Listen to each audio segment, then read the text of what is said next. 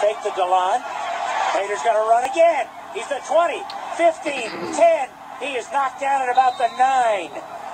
Maybe they'll say the 10. It's still a first, first and goal. Three great runs by Curtis Painter. Looks like Tim Tebow out there the way he's running the ball in this drive.